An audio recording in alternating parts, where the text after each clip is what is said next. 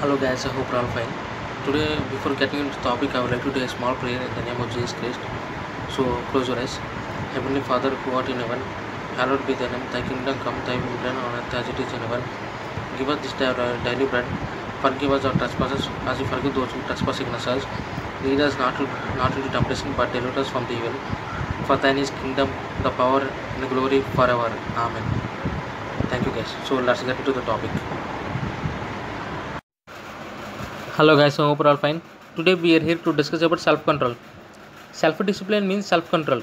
It gives you inner strength and a way to control yourself, your actions, and also your reactions. Tips to achieve self-discipline. Tips to achieve self-discipline. Set your goals. Do exercise or workout daily. Set a routine. Stay away from distractions. Reward yourself for every goal you achieve. Take proper sleep. Stay positive.